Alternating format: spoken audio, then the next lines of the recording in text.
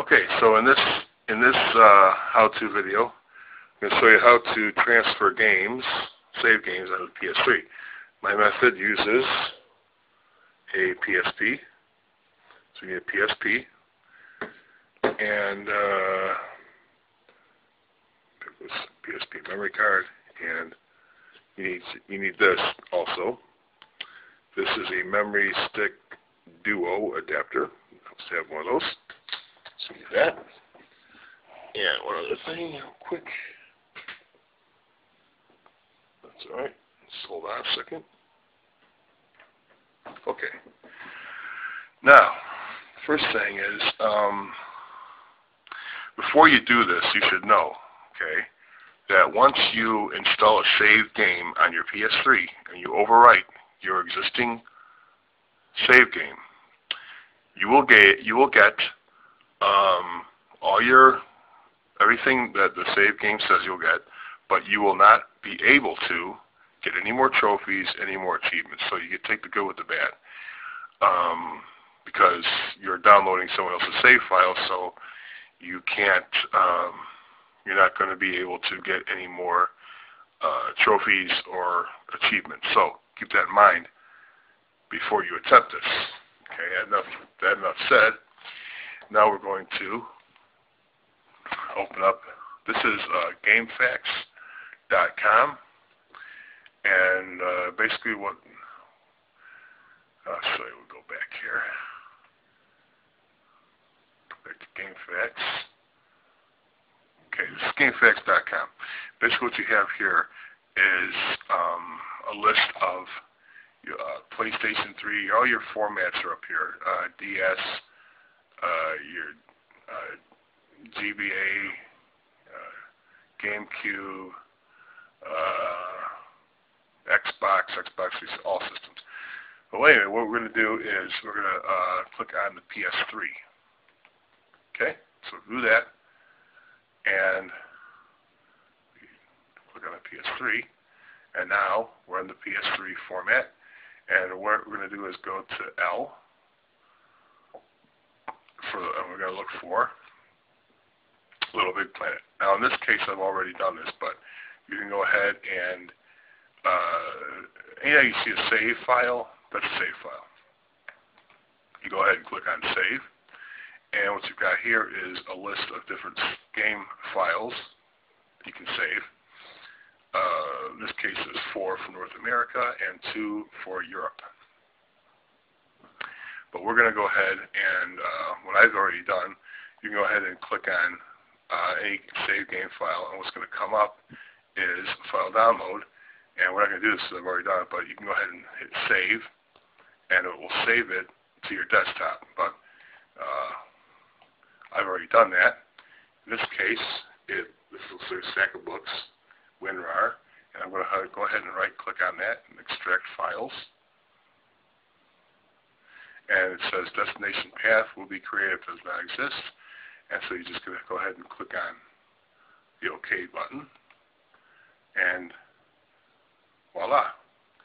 And what happens is that you get a, a folder created called Little Big Planet folder, and you just go ahead and you uh, click on that, and basically what you see here is uh, where all your save data is right in here. So you've got five files, and we need to fix this because uh, the PS3 needs to be able to read it a certain way. So what we're going to do is we're going to go ahead and while we're in this uh, subfolder, uh, we're going to go ahead and create a new folder. Okay? And we're going to name that uh, PS3. This way, what this does is it allows the PS3 to be able to find, oops, to be able to find it better, PS3. So we made a folder, we called it PS3. Now, um, we need to click on the PS3 folder, and now we need to create one more folder inside of here. So we're going to go ahead and do that. And we're going to name this one I'm going to name it Save Data. Save Data. The reason is you need to have these two folders so that uh, the PS3 is able to read it properly. And now as you see, folder is empty, so we click on Save Data. Now, the easiest way to do this, I found, is to minimize minimize that once you get this to the saved data. Reopen that, uh, your little Big Planet folder. Reopen the saved data, and you can click and drag uh, your folder, your data over to the saved data, and it's being there. And you close that up, and you close that one up. And when you reopen this, what you have is just the PS3. We have the PS3 folder, you have the saved data, and then you have your data, which is all your save, uh, your save data. Um, the easiest way to do this is once you're in uh, your subfolder, the Little Big Planet folder, and you see the PS3 folder there, click and drag that right to your desktop. And now the PS3 folder is on the desktop. Close that out. And uh, now what we're going to do is, now you're going to take your PSP, turn my PSP on. Hold on a second. Let me pause this real quick. Okay, so what I've done is I went ahead and I hooked up my PSP to my computer and I'm now in USB mode. So go back to the desktop and we open up the uh, PSP.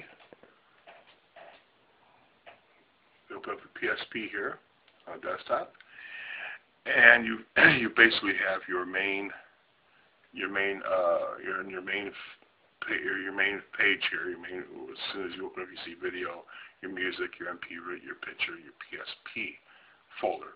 What basically we're going to do is just take the PS3 folder, and we're going to click, and we're going to drag it right into the PSP drive. So it's already in there. PS3 is in there now. And uh, we'll just uh, check it real quick and make sure that everything is the way it should be. And this is right. You don't want to mess around with this you'll see like a two, four, six, like a long noise starts with a BCU or a BCLU or whatever, and you just want to leave that alone. You want to touch it or mess around with it or anything. So it's right. Everything is right with that. So now we can go ahead and close that out. And uh, now we're going to disconnect our PS3 from the computer. And we're going to go back.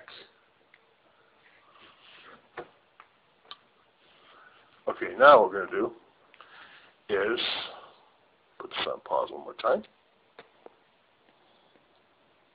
Okay, so I've taken the memory card out of the PSP, and I'm going to put the memory card into the adapter. Basically all that is, just slipping that in there. And we need this because uh, this is going to go into the PS3. We're going to go to PS3.